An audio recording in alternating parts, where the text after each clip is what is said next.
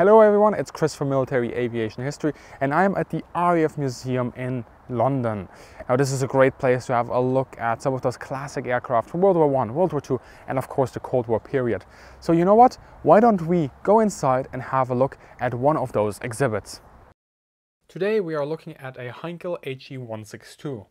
This aircraft is known under a few additional names like Salamander, Spatz and of course Volksjäger, People's Fighter.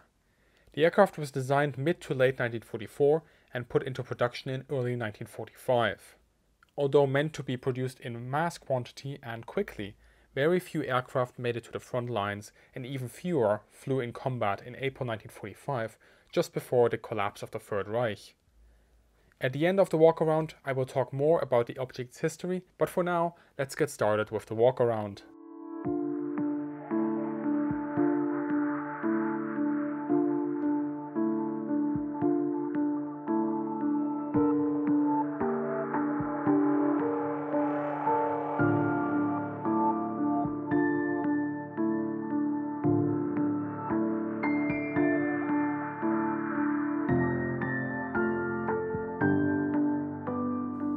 First, the basics. The HE-162 is a single-seat, single-engine, jet-powered monoplane that was designed with the primary aim to be cheap and easy to manufacture. The aircraft is 9 meters in length, 2.6 meters in height, and spans 7.2 meters. It weighs around 1,650 kilograms empty and 2,800 kilograms fully loaded. With these dimensions, it is certainly one of the smaller fighter planes to come out of World War II. As you watch this video, take note of the simple and rudimentary construction of the plane, which is a product of both Heinkel's aim to make this aircraft easy to produce and the indiscriminate use of slave labor throughout the construction. Up front we are greeted with a long pitot tube. The placement of this tube in the nose was on purpose. While you see the same in later fighter jets, as this allowed a speed measurement far away from the plane's body and thus in undisturbed airflow. The main reason was not technical, but to centralize all systems in as close a space as possible to avoid the need of extra wiring or unnecessary construction steps. It is empty except for ballast, the ground power socket, and the space to house the upper part of the nose wheel. The nose wheel folds in half, about at the point where it leaves the fuselage and swings rearward into the housing. And the wheel is stored between the pilot's legs and the rudder pedals. The cover closes while being simply pulled inwards. The nose wheel itself comes from a Junkers Ju-88 bomber, where it was used as a tail wheel. This is yet another example of how Heinkel developed this plane as fast as possible and how it used components already in use.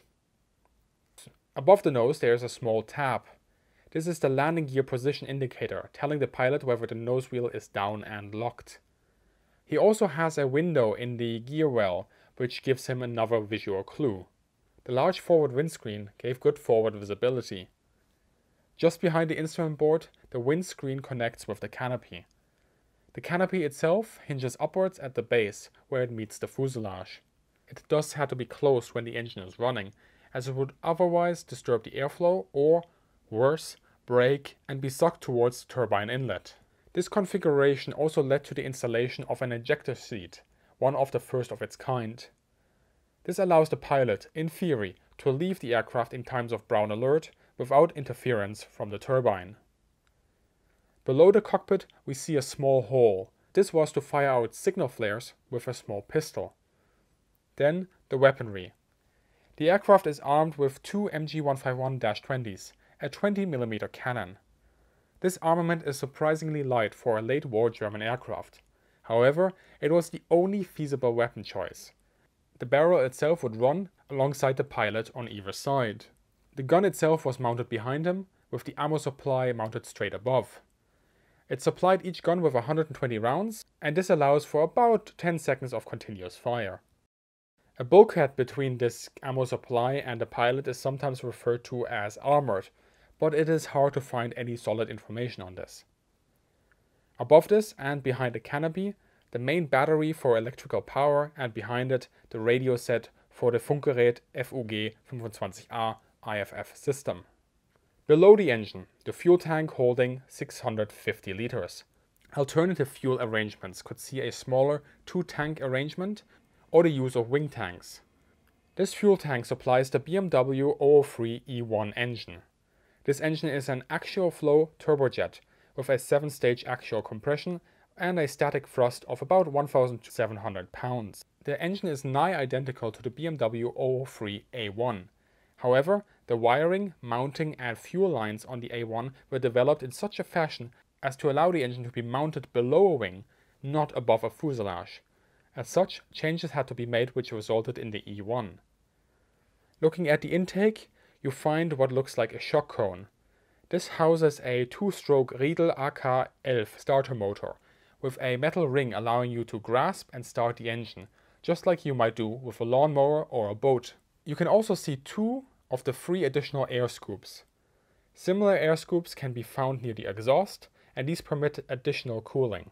The starter engine fuel tank and a jet engine's oil tank are set above the inlet. The loop antenna above the engine is for the aircraft's Funkgerät 25A radio and radio direction finding system. If you look at the installation of the engine, you will notice how simple it is.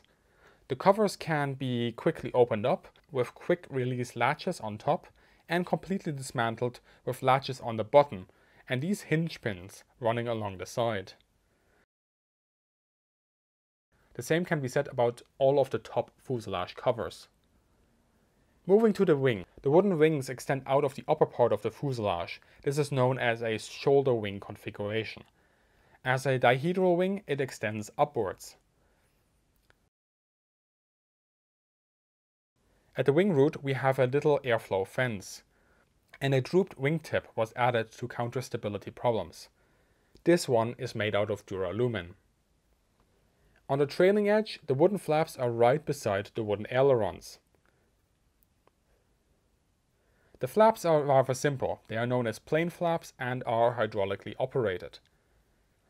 Where the trailing edge meets the fuselage, you can see this downward curved wing root. This was a change from the initial straight design and implemented with the fourth prototype. Looking at the exhaust, we find an extended fence installed to protect the rear part of the fuselage. The exhaust itself has three variable settings, but only two are indicated. A for starting and idle, resulting in a greater nozzle exit area, and S for takeoff and climb, resulting in a smaller exit area. A third intermediate setting is in between. The German to the right is not original, something every German native speaker will have realized by now. While the plane was nicely restored to a static exhibit, there are various restoration and period-related changes from the original, and the German writing features some spelling mistakes. I will say more on this at the end of the video. Back to the Heinkel 162. Below the wing, the IFF antenna. As we look at the rear part of the fuselage, you have heat-resistant plates up top. The tail is mounted to the fuselage as one unit, and a jack point is on the underside. A small fairing to protect the tail from tail strikes is just aft of one of these mounting points, connecting tail with fuselage. The horizontal stabilizers feature of course the elevator, while the vertical fins have a split rudder. The access panels either cover the mounting points or allow access to the control links. The metal tabs you see are the preset trim tabs you set on the ground. The plane features no trim tabs that the pilot can manually adjust mid-flight, because it is 1945 and ain't nobody got time for that. Except that that's not entirely true, because instead of trim tabs, the whole tail section can be moved by 3 degrees upwards and 2 degrees downwards. This transforms your tail into your pitch trim. Moving to the port side, very little to see here again. The Funkgerät FUG 24 is mounted just behind the main gear. The gear itself is, no surprise, simple and recycled. This wheel type and parts of the struts saw previous service in Messerschmitt BF109s. It swings backwards at the main hinge inside the well. Inside the well, you will also find a small oil tank. The rudder control cables run straight alongside the gear.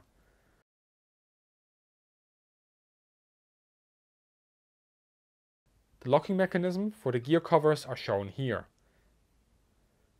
And again, to allow the covers to open up and close, very simple hinge pins were used. Outside on the port side, looking at the leading edge, a small vent hole. The covers you see can be hinged downwards and allow easy access to the MG151-20 on either side. On the left hand side of the pilot, three small oxygen bottles are mounted. So, let's now talk about the aircraft we have here. This aircraft was built in April 1945 at Heinkel Nord near Rostock. Its Werknummer is 120227.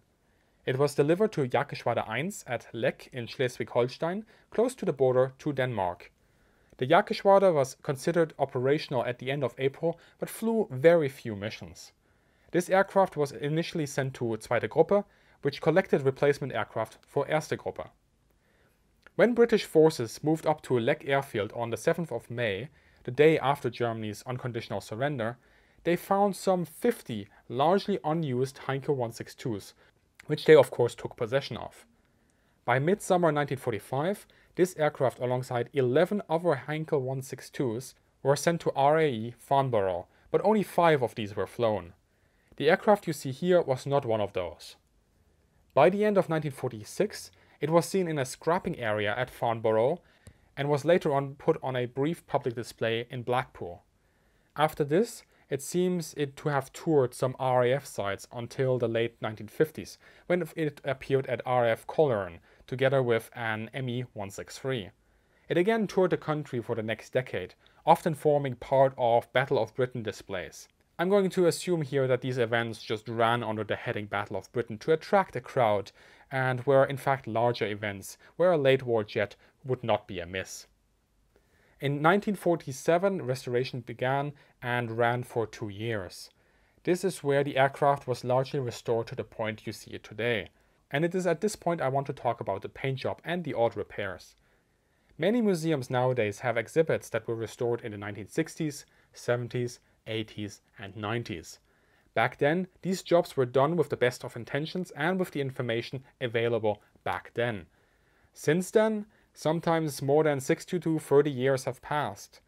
During those years, museums have learned a lot about how to restore and conserve, meaning that mistakes made back then are unlikely to happen again, while at the same time, museums are very careful about what projects they take on and what aircraft they will work on next. I sometimes see people getting angry about visual mistakes at exhibits, and while I understand the passion and the desire to get things right, I will add that restorations and changes to exhibits in general take a lot of time, care, expertise, manpower, and money.